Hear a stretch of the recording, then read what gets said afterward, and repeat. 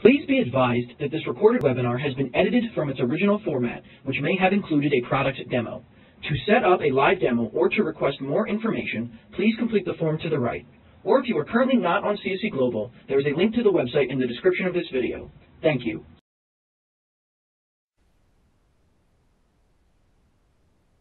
Hello, everyone, and welcome to today's webinar, Service of Process Health Check, Seven Key Questions. My name is James Weir, and I will be your moderator. Joining us today are Paul Matthews and David Jeffries. Paul is a Senior Service Manager at CSC. In this role, he leads CSC's Litigation Management Operations team, the team responsible for handling all service of process received by CSC. David is a Market Manager and Senior Sales Engineer for Compliance and Governance Services. At CSC, with over 12 years, he has significant experience providing training, implementation, and consultative services. And with that, let's welcome Paul and David. Great. Thank you, James. Thank you. We're very excited to be here, and we thank our audience for joining us for today's webinar. So we have a full hour, but we probably have at least that much worth of uh, content, so we wanna kinda jump right in. Uh, and we'll start with our agenda. This is what we intend to cover as a part of the webinar. Uh, certainly, as James mentioned, you can ask questions along the way using the Q&A feature of the web conferencing platform. We'll try to maybe address some of those as we go, but might need to sort of save some of those for the tail end of today's presentation. So we're gonna start with what we're calling the basics. We wanna define service and process. You're gonna hear the term SOP quite a lot today, so we wanna make sure that we're on the same page, describe the role of a registered agent in terms of uh, their relationship to SOP.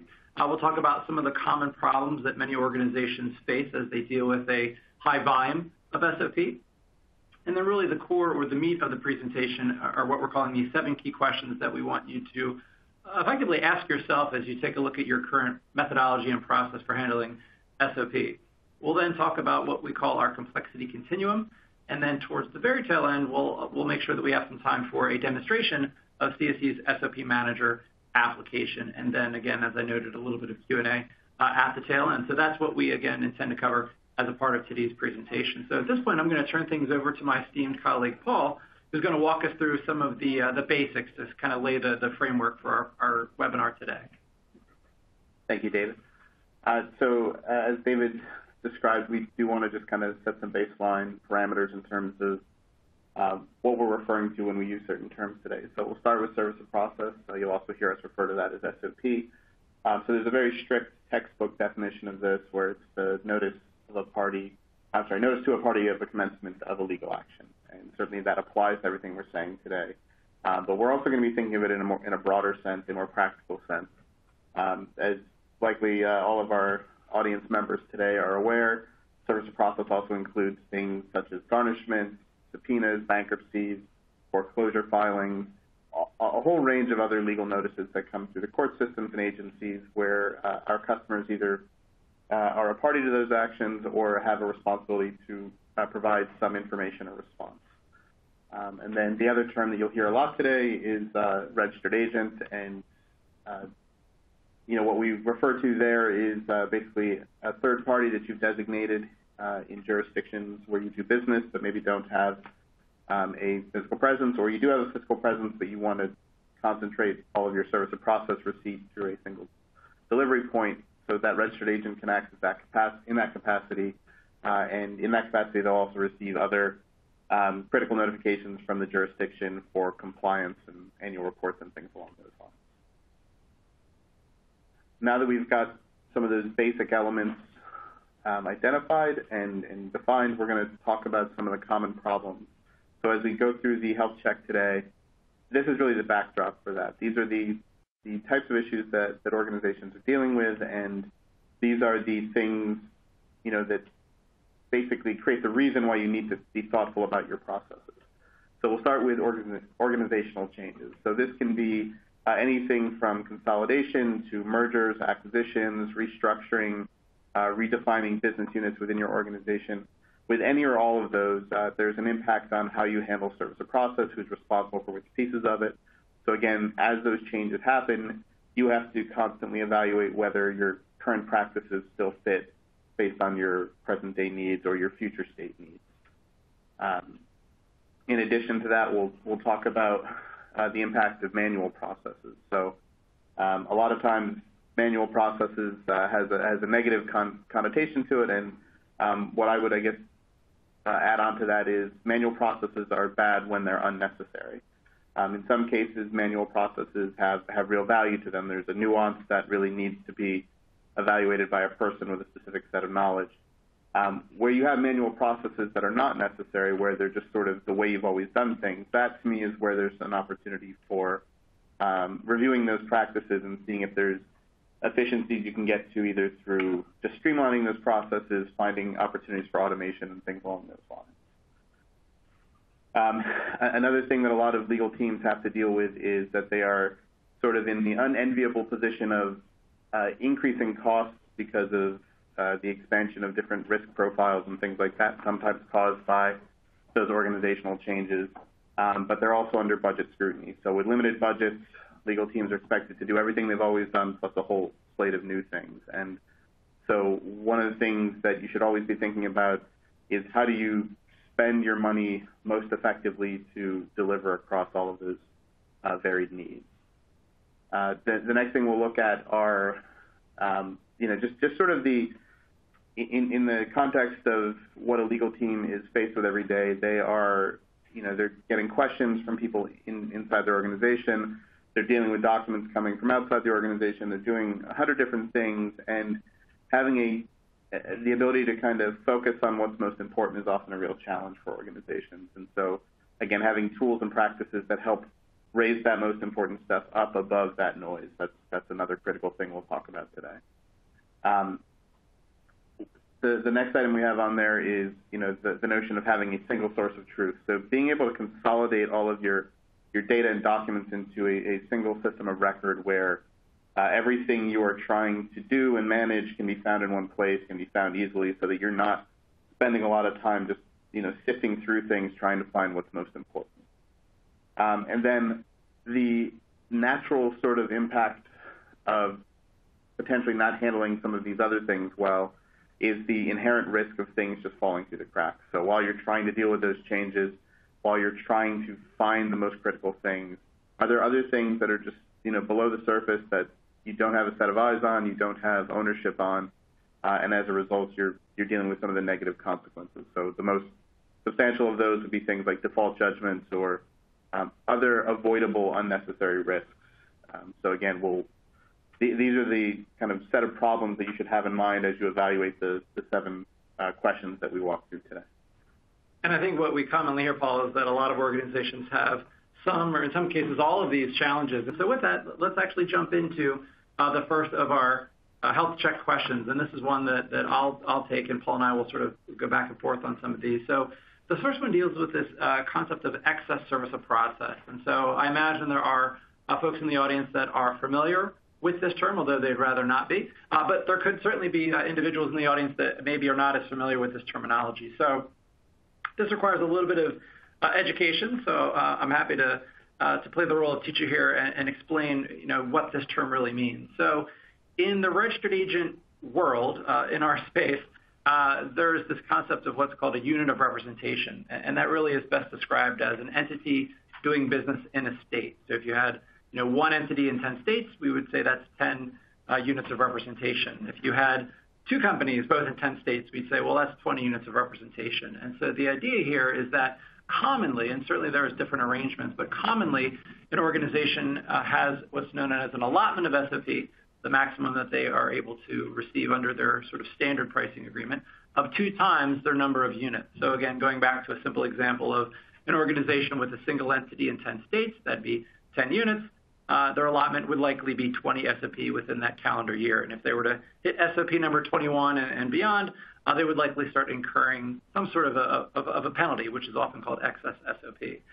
So for those in the audience that are familiar with this, that experience this, or maybe are trending towards falling into an excess situation, really one of the key questions is what are you getting for that spend? Is the uh, registered agent providing any sort of value, any sort of technology to help you manage uh, the high volume of SOP and litigation that you're dealing with, or is it simply nothing more than a financial penalty? Uh, so really something to to think through. The second question deals with really the, manual process challenge that a lot of our audience had had sort of shared and had copped to and said, "Yes, this is something that we're dealing with." And so it is very common when we speak with prospective clients that they tell us uh, that their SOP process is very manual, where they often have a traffic cop, sort of a gatekeeper that is responsible at the front end for receiving SOP documents and then making decisions ultimately on where do these documents need to go. And that might be getting in the hands of other individuals. Uh, classic examples would be getting a garnishment to an HR payroll colleague. Uh, maybe a subpoena goes to a different team within the organization that deals with that type of SOP. Uh, but again, doing this in a very manual fashion. It's also quite possible that those documents not only need to go to other people within or outside of your organization, but maybe they need to go into different systems. And I'm not gonna steal Paul's thunder because this is a question that we'll talk about a little bit later on in the webinar. But certainly you wanna think about not only potentially automating the distribution of SOP notifications and documents to colleagues when they come in automatically, uh, which can be done on a number of criteria. Uh, but you also wanna put some thought to maybe uh, feeding SOP documents into other platforms and other systems as well.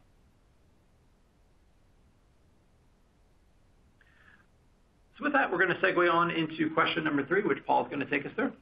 Yeah. So what we're gonna talk about next is um, the notion of do you have the proper controls in place to make sure you're getting all your documents and that all those documents are being handled.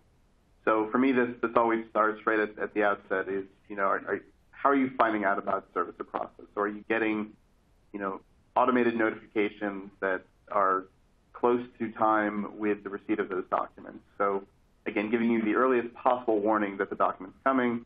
Um, ideally, those notifications also include some baseline information about the documents you can assess, is this a high priority, low priority? Do I need to take immediate action, or can this kinda fall into sort of the normal, you know, first in, first out kind of process? Um, within that notification, ideally, you're also able to go directly to the underlying document. So, you know, being able to go from the summary baseline data into the full content of the document so that you can take action as quickly as you need to.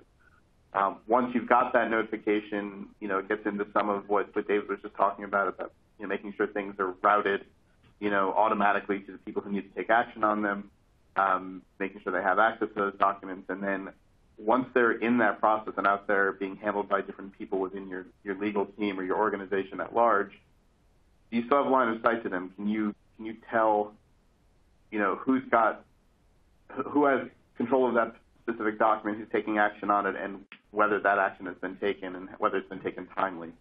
So really a little bit of policing of your process as well.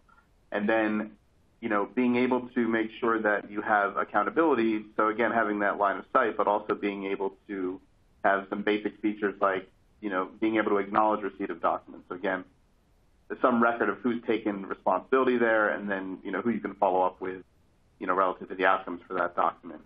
Um, that's usually the sort of baseline requirement for any organization, is that they've got at least that basic accountability and traceability. Um, for more complex organizations, that may actually extend into something a little deeper, and it's more of a task-driven workflow where it's, you know, it's not binary, where either a document is handled or not, but I wanna be able to see the individual stages of the handling of that document. So if there's many things that have to happen, what things have happened, which things have not happened. So again, having line of sight to that thing and ideally being able to surface that up, not by going document by document, but being able to pull that up into reporting and other um, aggregation tools. Now you're gonna steal my thunder, Paul, because I'm gonna talk about reporting in a little bit, but I'll let that slide and have you talk about question number four. Uh, thank you for letting me slide there. Um, so, so again, what we're gonna talk about next is uh, what we talked about as one of the um, core problems that some organizations have, which is whether they have a single system of record. So again, it's one thing to kinda have a defined workflow, and that's important, uh, but being able to refer back to things and knowing that you've got everything in one place so that you can do that quickly and easily, um, you know, that that usually means you need to have some sort of shared tool or technology. Um, you know, within within that tool or technology, you wanna, again, I reference sort of the notion of a baseline set of data. You wanna have some common data points that you capture for every document so that if you wanna do searching and reporting, you at least know, you know, some of the attributes that you can expect to find, and that's that's really critical to being able to locate those documents, you know, when you need to. Um, and then, you know, once you start to get everything into a single system, the next critical need is making sure that people only have access to as much as they need to have access to. And there's, that kinda cuts two ways. on the one hand, you want to give each person the most focused set of uh, information as possible so that they're not having to sort through things that are irrelevant to them. Um, but the other thing is, you know, in, in, in a legal context, often documents ha- have some sensitivity to them. You don't necessarily want everyone who can see any part of your service or process uh, catalog to be able to see every piece of service or process. So looking for tools that allow you to customize those access controls and make sure that people only see as much as they should or need to. Um, those, are, those are typically critical things to layer in once you've got that, you know, everything in one place. So Paul, I've got a couple of questions for you on this topic of that, that single uh, repository, single source of truth. So at the outset of the demonstration, we were talking about the foundation, the basics of, you know, what does a registered agent do, and they're that sort of address of record for the organization for the receipt of service of process. Yet it doesn't seem like all SOP is always flowing through the registered agent. Can you kind of talk us through kind of the reality of the fact that there could be multiple channels yeah, in terms of how things come in? Yeah, absolutely. You know, so CSC acts as a registered agent, and so in a perfect world, we'd like to be able to tell our customers that name us as agent, and every everything is solved and everything comes through one place, nice, clean, nice and cleanly. Um, but the reality is much different than that. Almost every jurisdiction allows for service of process, both through the registered agent and by other methods, whether that's through um, officers and directors, through the corporate office, you know, through other representatives and agents of the company. So there are always going to be some documents that fall outside of that um, that workflow that you've tried to establish. And while you can get your organization to get in line with a workflow, it's hard to get the outside world to always go along with that. So um, what you want to have in that case is the ability to um, work with your registered agent provider to, to establish um, some practices that you can kind of get out to your you know people out in the field, whether that's in retail spaces or branch offices, you know, they, they're not going to receive service of process every day, but if and when those documents show up at their office, you want to have already primed them with the information they need to identify, hey, this is service of process, and this is what I need to do when I receive this. And that way they don't have to try to get that answer in real time. Um, some of the most um, substantial delays that any of our customers deal with are when you know things show up at a place that wasn't prepared to receive it, and they've got to, you know, at best try to make sure that that eventually gets to the legal team. Um, you know, when when you've kind of prepared for that ahead of time, not only will that get to the legal team, but it'll it'll come in in the same fashion you plan for everything else, and you can um, again have much much more confidence that there again you're not falling into that trap of things that are just falling through the cracks. And that's helpful. And then the other uh, thing that you touched on here is like the uh, the concept of access controls, being able to limit individuals to certain types of documents. But you've also certainly talked, I think, about the concept of you know the all-powerful user that can log in and see everything. Have you had clients that have said, well, you know, I'm somewhere in the middle where you know I want to be able to see everything, but please don't notify me when there's a garnishment because I don't deal with it, and, and I want to be able to kind of filter that stuff out of my view, that sort of thing. Yeah, absolutely. So the, the way we handle that in our solutions uh, is, is to make sure that users can configure those types of things. So they can figure out what level of access is necessary for each user, what um, what subset of documents are critical to them and their workflow, which ones shouldn't show up in front of them ever. Um, and our tools allow you to kind of set rules and automated routing and permissioning so that that stuff happens uh, just as documents come through, those, those permissions are set up, those rules are in place. Um, and, and again, it's really about making sure everyone has just enough access to do the job they need to do. Perfect. So we're going to move on into question number five, which really, pardon me, is all about searching. And so uh, a good registered agent, uh, when they receive the physical documents on behalf of your organization, is going to scan those documents so they're made searchable. So that not only would you be able to open up an individual SOP document and plug in, let's say, a name or a word or a phrase and see if that information is present in a document, but really you would want to have that capability across all of your documents, which could be over time hundreds, thousands, tens of thousands, hundreds of thousands theoretically over time. Uh, you want to make sure that you can quickly pop in plug in some sort of a keyword and find that information within the document. Additionally, what you may also prefer is, is not just the opportunity to search for content within the documents, but maybe having the ability to tag documents to sort of create your own field. Uh, people like the term metadata, where you're associating, associating some additional information with documents. Ultimately, if you're able to do uh, something of that nature, you'd want that content uh, to be searchable, searchable as well. Again, we're coming back to this concept of controlled access, but really think about it as, sort of filtering. Again, not only controlling who sees what documents, but uh, just as we just described, the ability to quickly get in and have views of your SOP that is meaningful to you. So if you're someone that deals with subpoenas, if I'm not already limited exclusively to subpoenas, let me click a button and see that subset of documents within the vendor's technology. So these are all critical things. When I think about searching, I really think about it in the context of trying to find sort of a single thing, maybe a single document. When we talk about question number six, really now we're talking about reporting, which in my mind is sort of the aggregation of information. And so a couple of things that you should think through, which maybe you have these uh, tools in your tool belt today, maybe you don't from your current provider, but really the ability to, on the fly, create reports, so to find a, a query, and then uh, have the system in real time uh, search for information that matches that criteria so that you can get some understanding of maybe some trends and just some basic oversight of, uh, litigation and SOP within your technology. Not only might you want the ability to create those queries on the fly, but perhaps you would want to be able to schedule reports as well. So maybe on a weekly basis or monthly or a quarterly interval, you could have reports that are coming to you and colleagues that, again, provide that, that oversight in a more automated fashion. And then we have this as the third bullet point, but it could easily be the first bullet point, making sure that all of the information within your SOP technology is reportable. Uh, if you can't report against all of the, document information, the perhaps matter level information, uh, then the reporting module starts to fall apart very quickly in terms of its value. So you'd want to make sure that, again, all of the information within the technology, which can include fields that are populated by your registered agent, maybe you would have the authority uh, as an admin to capture some of your own data points as well in a collaborative platform, again, making sure that all that information is reportable. David, before we jump ahead to the next question, um, I think it would be helpful to talk a little bit about you know, not just the ability to do those kind of searching and reporting things, but also having sort of multiple types of searches available within the application. So um, I, I, know that some of our customers have, you know, a, a, familiarity with using very advanced search tools, and so you know they, they want to be able to search using really complex queries and things like that.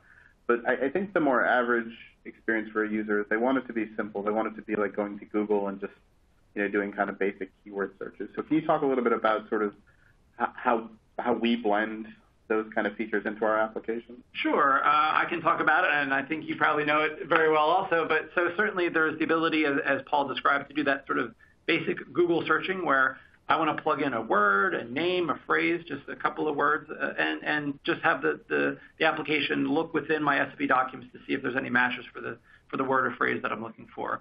Uh, but certainly we do give uh, folks the ability to do things that are a little bit more advanced where you can instead of maybe just searching within documents, you can sort of point the search to other parts of the database. Maybe you're interested in looking at matter level information or notes that you've captured within the solution. And so we do give our clients some tools to be able to either keep things simple or get to sort of that next level of sophistication with their searches as needed. Yeah, and, and I think that's what I was hoping we would kind of get to is just that notion that we want to kind of have tools and features that work kind of regardless of the level of, the, of sophistication for an individual user. Like no one should be kept out of information just because they don't know how to use a tool or a tool is not intuitive enough for them to use it.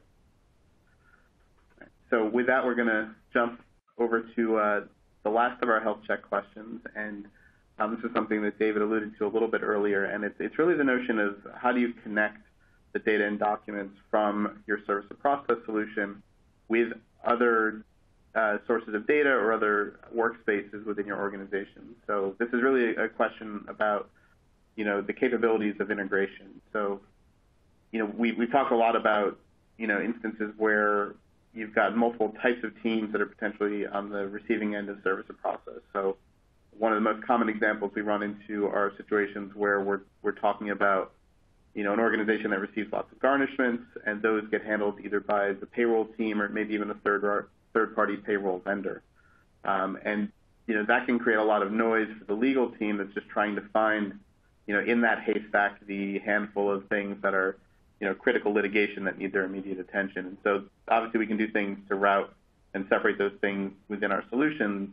Uh, but the the other part of that is not everyone necessarily needs to or wants to work within a service or process solution. They may already have a lot of other data and processes available to them in some downstream application. And so what's critical is being able to kind of take that information that's funneled through service or process and, and get that into those other downstream systems. So if, again, if I'm working on a payroll team, I've got all this information about, you know, our, our employees and our, and their payroll and, and, and, and other things that are happening with that employee, but that's not sitting in my service of process solution. So I don't want to have to go there to, to handle those documents. So uh, one of the things, and, and, and, this is where I'm going to just go into full plugging our, our technology mode. Um, one of the things that we've we've built in the last couple of years is a really powerful integration tool, and we've, we've built it so that it can integrate with really any downstream um, application, you know, and, and the idea there is we want to be able to place documents as far into our customers' workflows as it's possible to do, um, and, and as far into their workflows as it makes sense to do.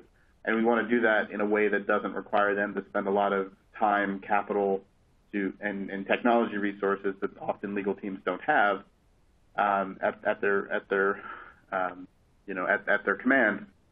We want to make sure that they don't need to kind of spend a lot there in order to be able to take advantage of that. So we, we built our solution so that it's very um, agnostic to what the downstream tools are and also um, in a way that it's very easy to connect our the data and documents from our system with those downstream tools.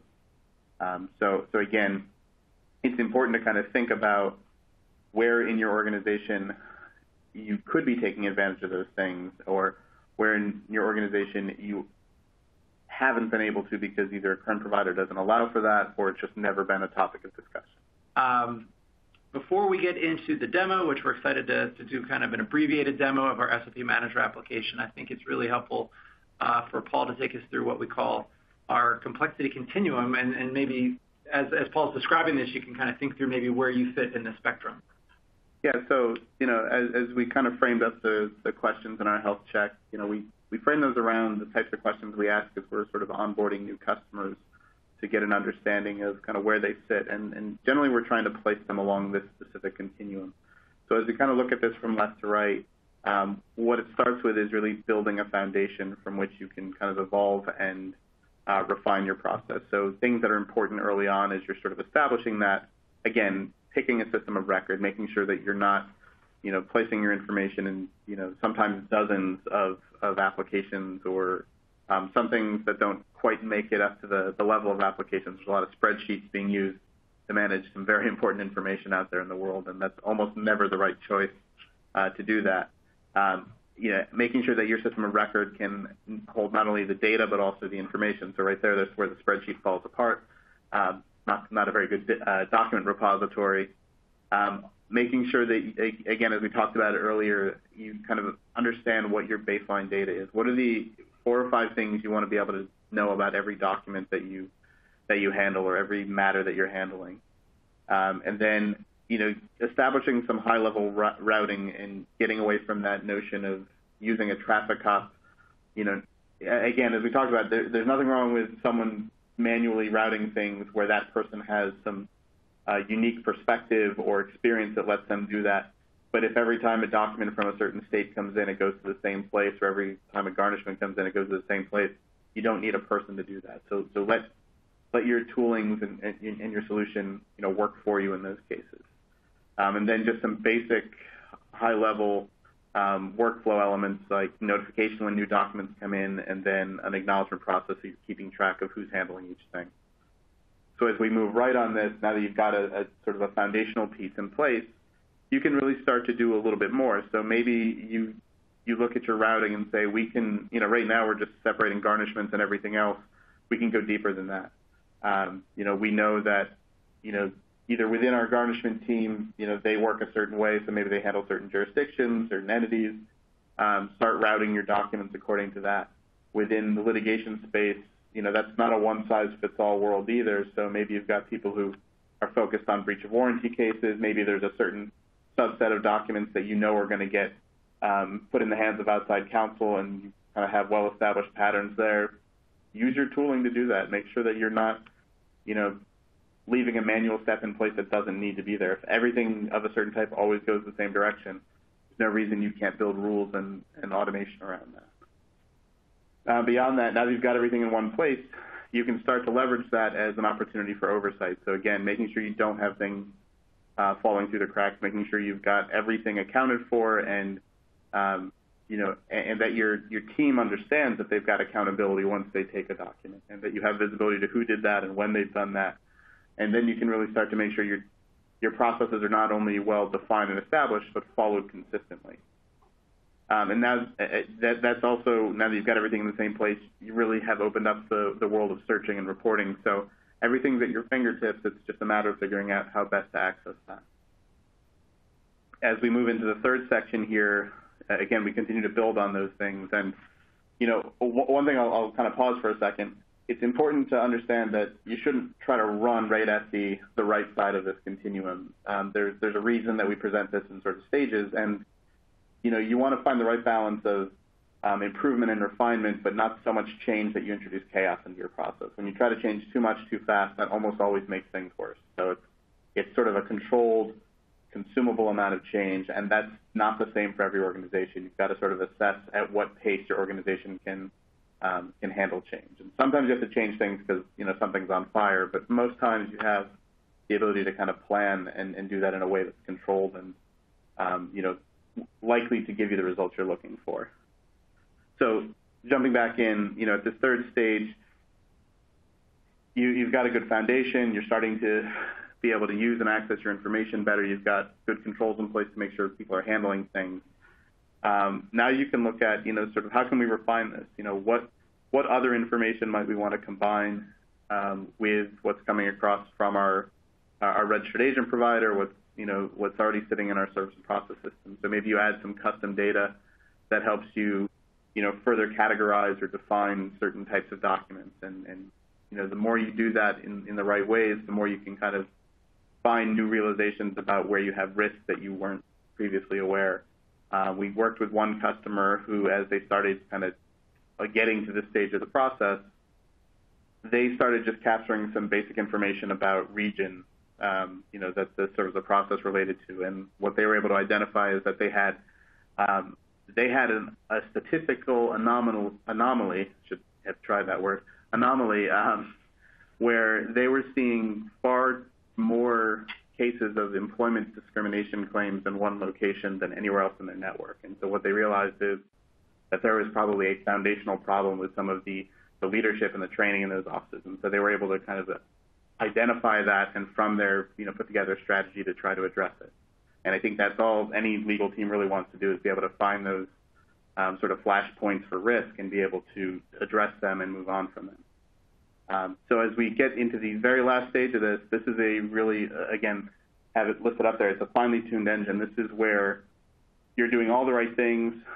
Now you're trying to see what opportunity you have to, um, you know, really refine these processes just to the, you know, the, finest point. So um, you're looking at, you know, where are your opportunities to take the information and processes that you're using within your legal team and use those as collaboration points with either outside counsel or your business partners throughout your organization. Um, and you're also, you know, looking to do that through, you know, integration opportunities. Um, again, as we talked about before, you know, where else could this data be useful? Where else do people need access to these documents? You know, maybe you don't want all of those people in your service of process system, but that doesn't mean you can't share that information and um, and work with them, you know, through those integration possibilities that we've talked about. And as we start to segue into the full-on plug for our uh, SOP Manager application, which we're going to dive into, I mean, we really do feel that it can meet the needs of folks on real in any part of the continuum that Paul just walked us through. And, it's kind of interesting, Paul, to hear you talk about that change management uh, example. And I recently attended a, legal operations conference, and uh, really part and parcel to adopting technology is doing it at a pace that your organization can sort of absorb and benefit from. And so I think it's insightful to hear you mention that as well. Yeah, and again, it's it's very specific to an organization. So you've got to kind of know your people, know your culture, and then, you know, based on that, make the right choices as far as how much you change, how quickly. Yeah, so we, we've talked a lot about process, and we've talked a lot about you know technology solutions and, and kind of how you partner those things together.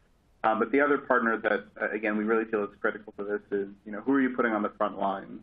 You know, who is who is your sort of um, conduit to the, the, people who are sending the documents in. And so for, for most organizations that are doing business in multiple jurisdictions, that's going to be a registered agent service provider, likely a commercial agent that can kind of service their needs across the country. Um, and so it's, an, it's a really important choice. It's really easy to kind of think of, you know, registered agent as a um, as almost a commodity where, you know, let's just figure out how how inexpensively we can you know service this need. Um, but but I think what we see time and time again is when when people make the wrong choices here or they don't make careful choices here, they end up with providers that in some way disadvantage them. And so um, what you want to really look for in, in a service provider at the registered agent level is you want someone who has you know the things we have up on screen here. You want someone who's been doing this for a while.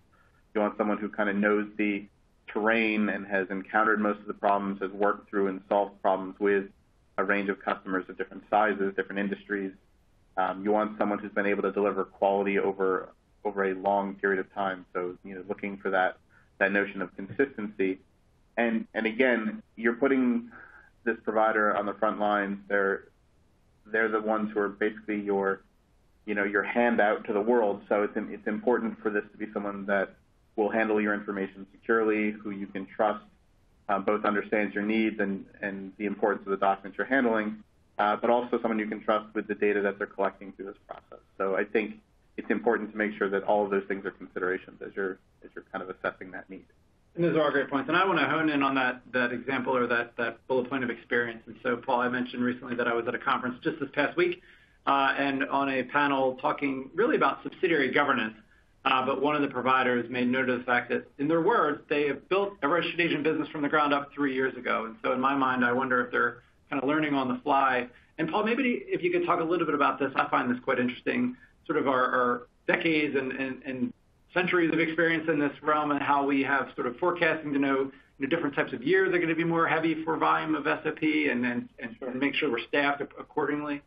Yeah, so I think there's, uh, you know, kind of thinking back to that same notion of a, complexity continuum, you know, I think there's one for registered agents too. So I think, you know, when you talk about a, a provider who's only three years into this, they're just getting started. They're still building their foundation. They certainly don't know all of the um, potential challenges that they're going to encounter. They've never had to deal with, you know, volumes growing quickly and unexpectedly, and like you said, being able to scale to meet that need. Um, and you know, there's there's there's a lot of ways to treat this process very casually, and those all end badly. So you, you want someone who's been very thoughtful about their processes, who's put all the right controls in at every level, um, who's not just a sort of loosely affiliated set of um, you know, providers throughout the network. You know, I, I can speak to our network. We've worked with, you know, the where we don't have CSC offices specifically, we've worked with the same providers for years, and we make sure that they understand all of the same. They use all the same uh, processes, the same software, the same equipment. Um, so whether, no matter where documents come into our process, they're going through the same steps, going through the same equipment. You know, so we have a, a uniform process that, that happens so what you get at the other end of that is you get a consistent, predictable product. And I think that's probably more than anything what you need in a registered agent.